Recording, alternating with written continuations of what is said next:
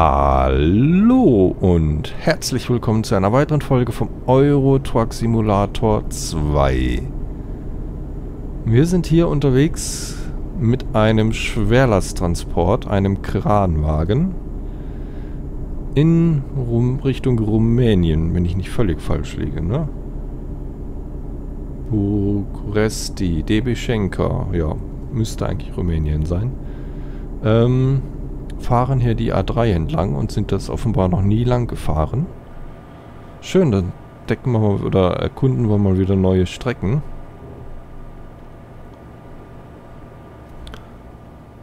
Hm, wir müssen geradeaus, das ist gut. Oh, wie viel Restzeit haben wir eigentlich noch? Zwei Stunden, bis wir pennen müssen.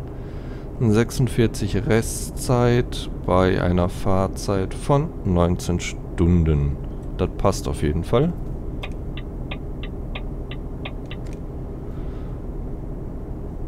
So, wir können mal kurz rausgehen in die Außenansicht. Hoppala. Das ist das gute Stück, mit dem wir hier unterwegs sind. Mal wieder rein, weil da kam eine Kurve, ja.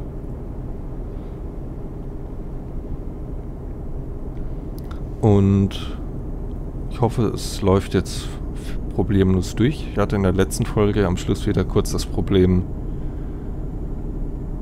dass einfach äh, sich das Spiel minimiert hat.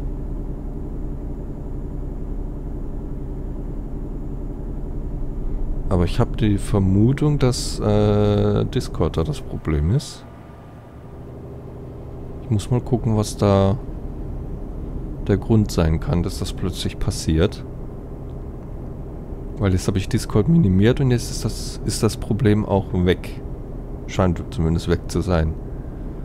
Ich meine, das wäre letztes Mal genauso gewesen. Bin mir nicht ganz sicher. Aber, äh, ich weiß, dass ich letzte Woche, letztes Wochenende das gleiche Problem hatte. Beziehungsweise es kam mir so, als, ähm, ja, plötzlich das Spiel sich minimiert hat, dass da doch schon mal was war. Kurvige Strecke, muss ich gerade feststellen. Eine sehr kurvige Strecke. Und wir sind immer noch in Deutschland unterwegs.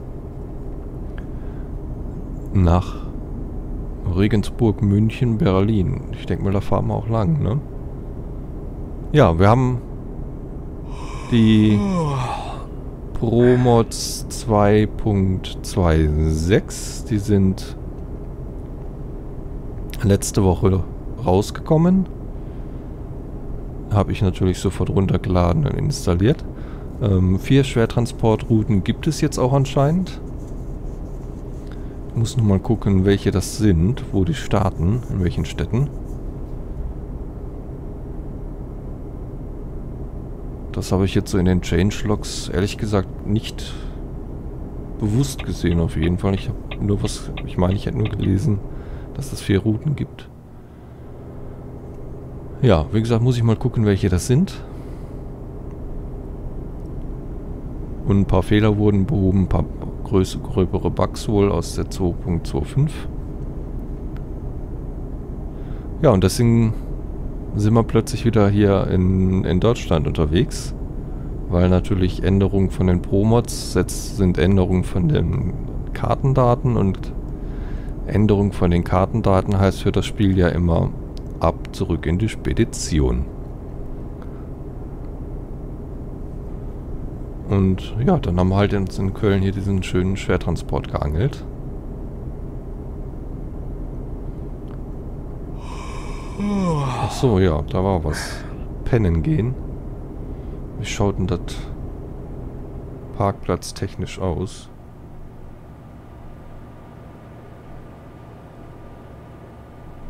Da kommt eine Tankstelle, okay. Nehmen wir die. Äh, da müssen wir lang. Ich war über diesen Schlenker ein wenig irritiert, weil irgendwo Schlenker und doch geradeaus. Aber okay, so macht das Sinn.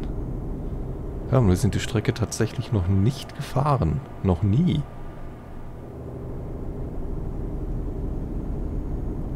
Das erstaunt mich.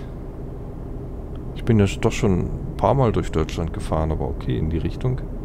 Ost Richtung Osten fahre ich selten, ne? Das ist, stimmt schon. Meist in den Süden oder in den Westen oder in den Norden. Ja, ja, ich weiß. Weil das auch so meine bevorzugten Länder sind. Ich bin 49 Minuten haben wir noch. Da kommt ein Rastplatz. Perfekt.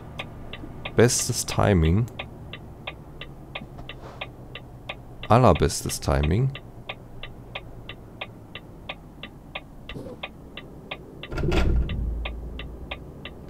Oh. Ähm. Wir, wir parken so. Wie es sich nicht gehört. Ja. Blinkies können wir mal ausmachen. Perfekt geparkt, oder? Würde ich mal sagen. Perfektes Einparken. Nicht. Aber egal. So. Wir gehen pennen. Und wie spät haben wir? Vielleicht sollten wir den Motor anmachen, dann sehen wir auch eine Uhrzeit. 5.30 Uhr, okay, und hell. Nun denn. Ja, fahren wir weiter. Fahren wir weiter und schauen mal.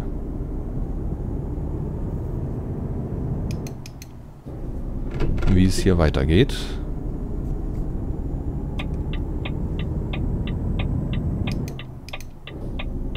Die Auffädelspur ist jedenfalls relativ gering.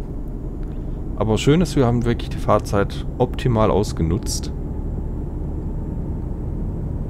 Ähm, so sollte das sein.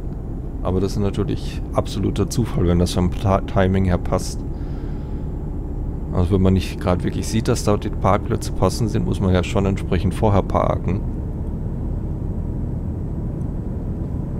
Sonst läuft man Gefahr, da ordentlich Strafe zahlen zu müssen. Oh. Ich sollte den Tempomaten wieder reinmachen. Sonst, wären wir, sonst wären wir wieder beim Thema Strafe zahlen, ne? 500 Liter haben wir noch. Der Tank ist noch überhalb voll, das reicht. Da brauchen wir noch nicht tanken. Können wir noch problemlos weiterfahren.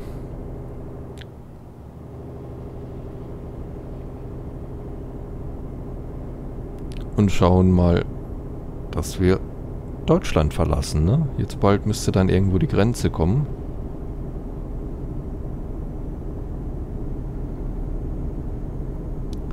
Und dann geht's in den Osten. Ja, wie gesagt, da waren wir auch selten. In den über 300 Folgen, die ich schon gemacht habe.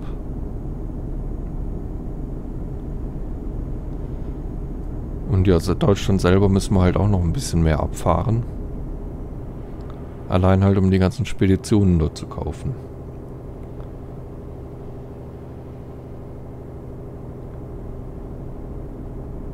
Muss alles sein. Muss nicht, aber möchte ich. Weil es halt ja auch die Errungenschaften da gibt. Bekommt man zwar nichts groß für, aber es ist halt schön, wenn man sie dann doch irgendwo erledigt hat. So ein bisschen Herausforderung.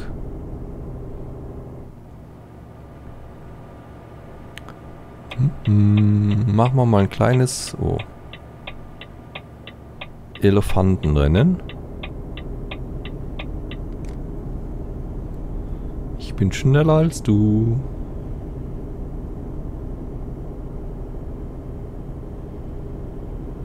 Blink, blink, blink, blink, blink, blink.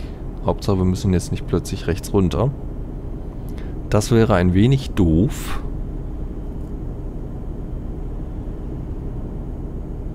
Äh, vorbei sind wir noch nicht. Immer noch nicht. Aber jetzt. Können wir wieder freigeben, die linke Spur.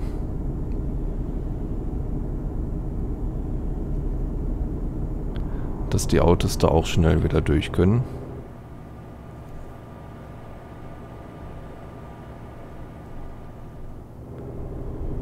Wunderbar. München, Prag, Paris. Äh, Paris doch nicht. Prag, Praha, also Prag. Paris ist ein bisschen in die andere Richtung. Das ist da im Osten eher selten zu finden. Ich vermute mal, dass wir Richtung München-Prag fahren, ne? Falsch vermutet. Fahren tatsächlich Richtung Salzburg, okay.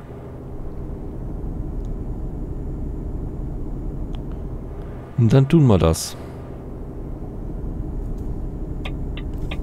Kommt da wer? Nein.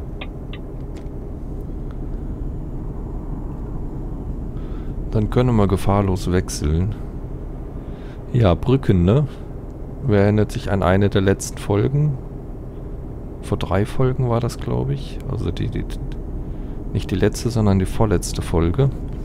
Wo wir mal dezent unsere Ladung zerstört haben. Weil sie unter der Brücke nicht durchpasste. Zweimal sogar. Einmal auf dem Hinweg zum Schlafplatz, einmal auf dem Rückweg vom Schlafplatz.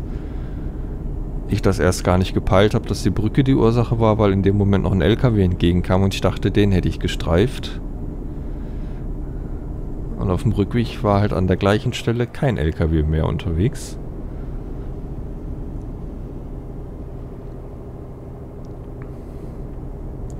Ja, das war ein bisschen doof. Ich hatte allerdings auch kein Schild gesehen, das, das, mir gesagt hätte, dass die Brücke irgendwie niedriger ist, dass ich da nicht durchpasse. Und Höhenangaben für die Ladung gibt es hier ja auch nicht. Von daher hat mich das ein wenig irritiert, dass es nicht passte. Zumal es der einzige Weg war, wie ich in äh, zur, zum, zum Schlafplatz kam.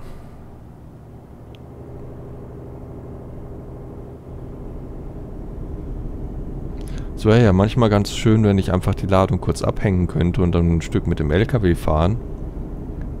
Zum Beispiel um zu tanken oder so. Weil manche Tankstellen sind ja nicht wirklich befahrbar mit so einem äh, langen Zug, wie wir ihn jetzt haben, oder Gigaliner. Und so, was es da noch so gibt. Und da wäre dann halt schon schön, wenn man einfach mal kurz abkoppeln könnte. Ging ja in der Realität ja auch. Passenden Platz suchen, abkoppeln, tanken, fahren, zurück zum Platz und weiter geht's. Tanke ich hier? Nö, ist noch über halb voll, das lohnt noch nicht. Da sollte nochmal wieder andere, eine andere Tankstelle zwischendrin kommen. 1400 Kilometer schaffen wir noch, sagt die Anzeige. Ob das stimmt, weiß ich nicht. Und wir haben noch 1100 Kilometer vor uns. Uh, und das war knapp. In Linz könnten wir eine Spedition kaufen und Fragezeichen aufdecken. Wenn wir nicht gerade einen Schwertransport hinten dran hätten, wäre das vielleicht sogar eine Option. Aber, ähm, nicht mit dem Schwertransport. So, wir sind in Österreich. Austria.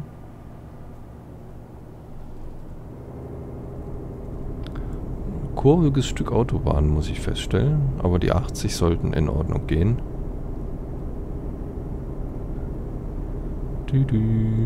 Sanft einlenken. Ein bisschen die Stra Kurve schneiden. Nicht die Straße, die Kurve natürlich. In der Straße schneidet man nicht rum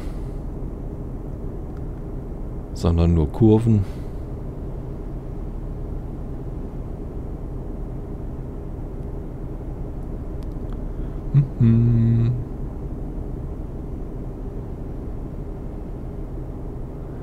90 dürfen wir maximal, aber wir dürfen sowieso nur 80 als LKW-Fahrer.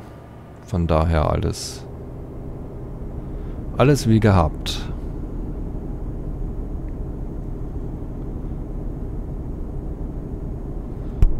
Hoppla, gegen das Mikro gestoßen. Sorry, ich hoffe es war nicht zu laut, aber dürfte eigentlich nicht. Wir haben noch 15 Stunden. Ähm wäre natürlich schön, wenn wir das diese Woche fertig kriegen. Von den... Äh, von der Dings her, dass das hier nicht eine Woche rumliegt. Und möglicherweise irgendwie zurückgesetzt wird. Schauen wir mal, wie weit wir heute kommen. Vielleicht fahren wir ein bisschen länger.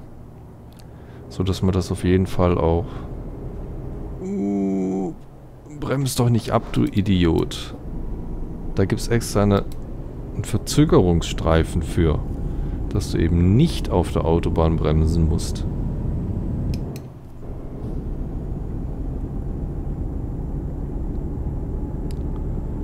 Ähm... Ja, dass wir das auf jeden Fall fertig kriegen. In den nächsten zwei Folgen.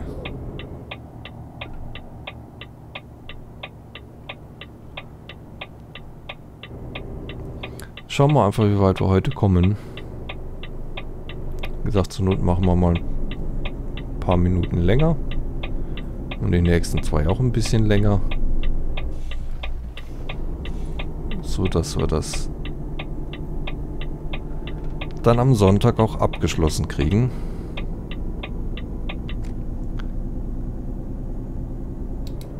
Sind ja...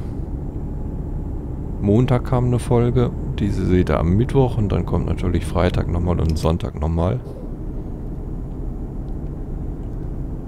Und die nehme ich heute, nicht alle heute, aber an diesem Wochenende alle auf.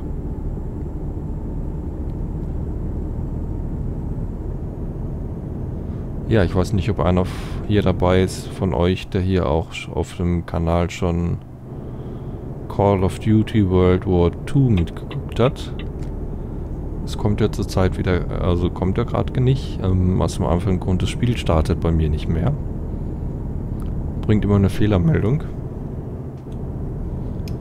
Ähm, ich muss es wahrscheinlich doch tatsächlich mal deinstallieren und neu installieren. Muss ich aber mal schauen, wo ich den Spielstand sichern kann. Ob ich den sichern kann. Weil ich würde schon gerne weiterspielen. Ich fand es irgendwo schon reizvoll, das Spiel. Es hat so... Ja, irgendwo schon seinen Reiz. Auch wenn das wirklich ein Ballerspiel oder ein Shooter wirklich schlechthin ist. Aber ja, gesagt, irgendwo hat es, also zumindest die Story, finde ich, hat ihren Reiz.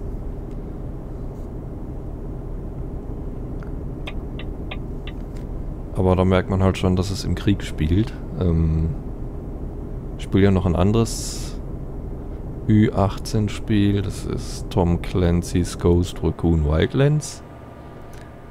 Das ist aber halt doch nochmal ganz anders als wie Call of Duty. Weil es spielt eben nicht im Krieg, sondern in Argentinien, glaube ich. Wo ähm, wir halt gegen Kartell kämpfen. Das Argentinien? Ich meine ja. Bin mir gerade nicht ganz sicher. Halt ein Vierertrupp, eine Elite-Einheit, die dagegen das Kartell kämpft. Wo es dann auch eher auf Taktik ankommt, die mir leider nicht immer so gelingt. Ab und zu artet es dann nochmal in eine absolute Ballerei aus mit den Gegnern. Aber eigentlich sollte man taktisch vorgehen und ähm, alles ganz in Ruhe und dezent ausschalten. So einer nach dem anderen, unbemerkt, unauffällig. Ich weiß gar nicht, ob man da nur schießen kann oder ob man sich auch an die Leute anschleichen kann. Müsste ich mal ausprobieren, ob das geht. Ob ich das... Also ob ob es geht und ob ich es kann, ist nochmal zweierlei. Ich bin da nicht so fit drin, was solche Spiele angeht. Weil nicht umsonst sieht man hauptsächlich äh, Simulationen oder halt Spiele wie ähm, My Time at Porsche oder so Sachen hier auf dem Kanal. ist ja nicht ganz grundlos.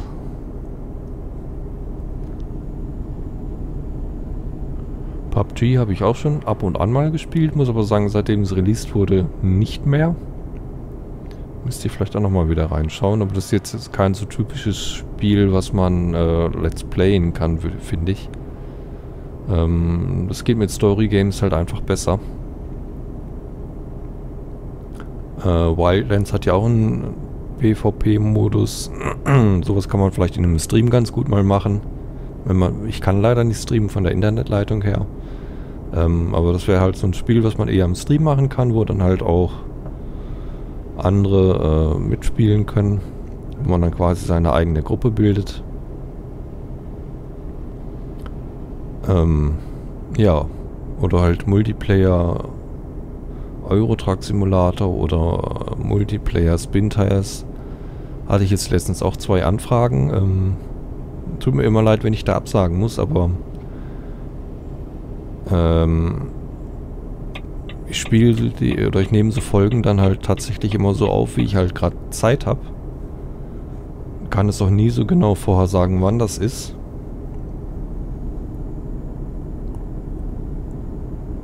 Also ich weiß dann zwar schon ungefähr, wann ich Zeit habe, Folgen, also Spiele auf oder Videos aufzunehmen, aber ich kann eigentlich nie so genau sagen, welches Spiel das dann sein wird, weil das hängt ja noch immer ein bisschen davon ab, äh, wie viel Zeit habe ich jetzt plötzlich, also wie viel Zeit habe ich jetzt letztendlich, äh, wie viel Lust habe ich. Macht ja keinen Sinn, dass ich in Spiel äh, aufnehme, von einem, äh, wo ich dann äh, gerade keine Lust zu habe. Wir sind in Wien. Und, ähm, natürlich auch äh, 50 darf ich, upsa. Ich nehme dann halt oft auch einfach mal nur eine Folge auf. Ähm, und das ist Multiplayer natürlich auch doof, wenn man dann nach 20 Minuten schon wieder Tschüss sagt. Deswegen sollte ich mal eine gute Internetleitung kriegen und äh, streamen können. Dann äh, sieht sowas natürlich wieder ganz anders aus, weil wenn ich streame, habe ich in dem Moment natürlich die Zeit. Das ist dann natürlich auch alles geplant. Oder selbst wenn es ungeplant ist, wenn es dann jemand mitkriegt, dass ich streame äh, und das ein Multiplayer-Spiel ist, dann kann man da natürlich auch durchaus mal drüber reden, dass man da äh, zusammenspielt. Und das geht dann halt auch länger, das geht dann halt auch mal über zwei, drei, vier Stunden oder so. Da macht es dann halt auch Sinn, mal wirklich was aufzunehmen. Oder zusammen zu machen. Und das ist bei Let's Plays halt immer schwierig.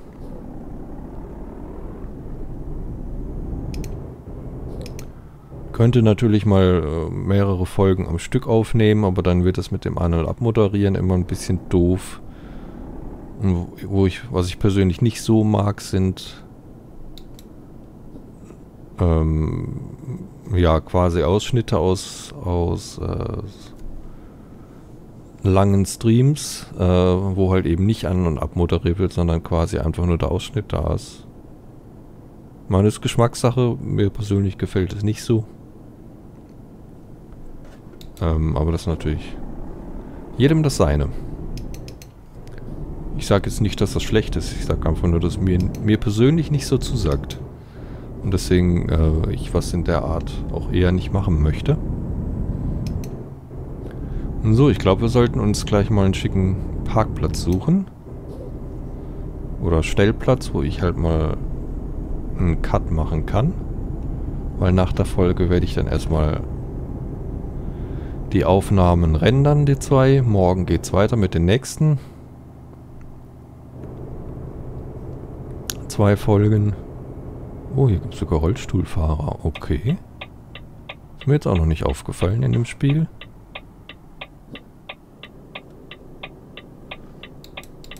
Und ja, dann werde ich nachher in Ruhe frühstücken, einkaufen.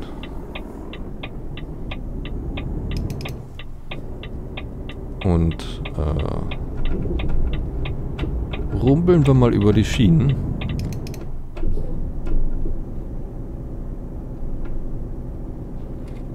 Ja, wir müssen dann nämlich gleich... Ah, da biegen die Schienen biegen sowieso ab.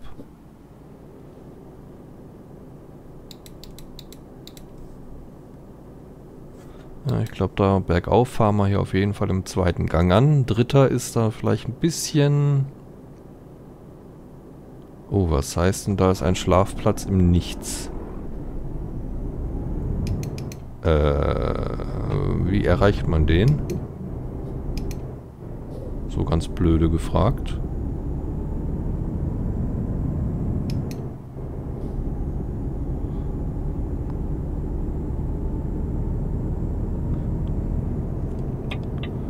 Da geradeaus wäre ein Fragezeichen.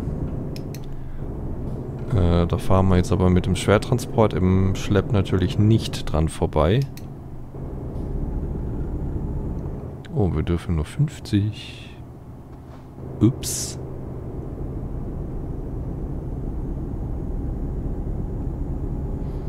Ja, ich hoffe, wir kriegen gleich hier mal irgendwas wie einen kleinen Rastplatz.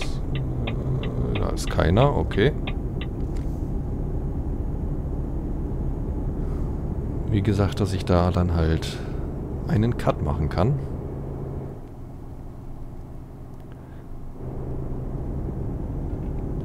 Solange müsst ihr mich dann noch ertragen. Das heißt, müsst ihr nicht. Könnt natürlich jederzeit abschalten. Ist ja kein Guckzwang. Oh. Ich glaube, ich bin mal wieder zu schnell unterwegs.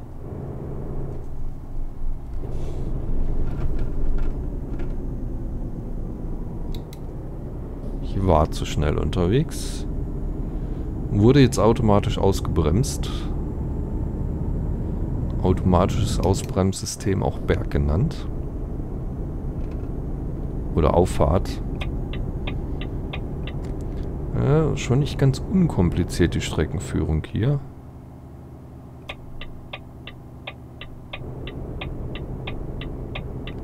Ich hoffe, ich bin hier richtig. Sieht aber so aus, glaube ich. Müsste passen.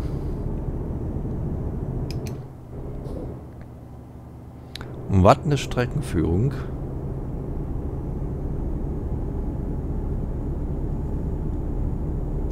So, und jetzt dürfen wir auch wieder 80 fahren. Sehr schön.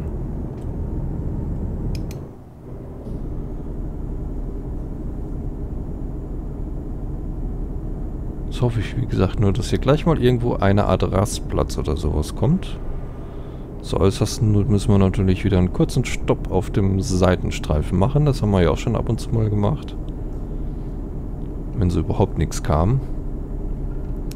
Aber ein bisschen warte ich noch. Haben jetzt 28 Minuten.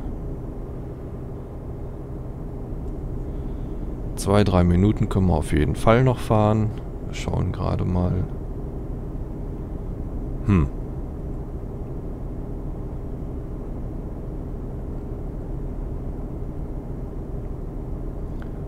Ja. Ähm, da kommt eine Tankstelle. Sehr schön. Dann nehmen wir die. Da können wir dann tanken und halt kurz dann den Cut machen. Das passt. Willkommen im Burgenland. Richtung Budapest. Bratislava. Eisenstadt. An die Bratislava wäre dort ab, rechts abgebogen. Okay. Zwei Schilder miteinander vermischt. Sollte man nicht tun. Zumindest nicht, wenn man Richtung Bratislava fahren möchte. Wollten wir aber ja nicht. Navi sagt ja geradeaus, Richtung Budapest. Passt. So. Äh Wir müssen hier dann mal ein wenig tanken. Nein, nicht hier.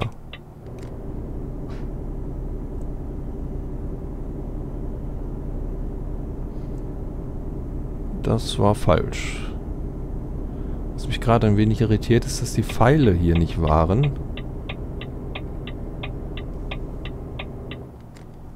aber andererseits auch keine Straßen angezeigt wurden. Das hätte doch bestimmt wieder geknallt, oder?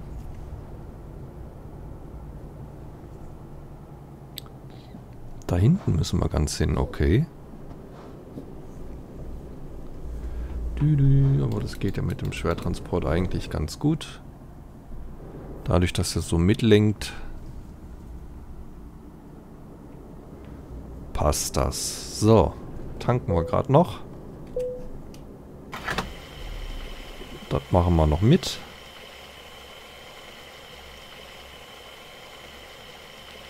Und dann fahren wir kurz raus aus der Tankstelle. Wie viel Zeit haben wir denn noch? Vier Stunden, ne? Da fahren wir aber noch was. Ich sollte den Motor starten. Fährt sich deutlich besser dann. So. Ja, und dann sage ich mal vielen Dank fürs Zuschauen.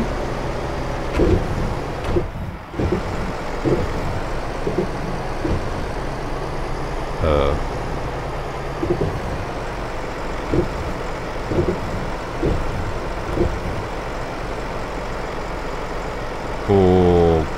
Okay. Ich weiß nicht, was das war. Aber es war irgendwas. Ja, vielen Dank fürs Zuschauen. Ich hoffe, es hat euch gefallen und ihr seid auch das nächste Mal mit dabei, wenn wir dann unsere Fahrt hier fortsetzen. In diesem Sinne, tschüss.